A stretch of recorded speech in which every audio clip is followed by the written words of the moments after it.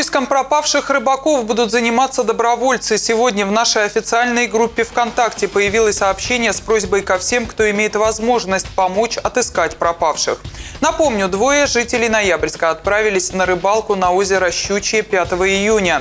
До сих пор их местонахождение неизвестно. Спасатели сделали несколько пробных погружений, однако тела рыбаков обнаружены не были. В настоящее время они объявлены пропавшими без вести. Группа волонтеров готова в ближайшее время отправиться к озеру. Подробную информацию можно найти на официальной странице новостей нашего города ВКонтакте.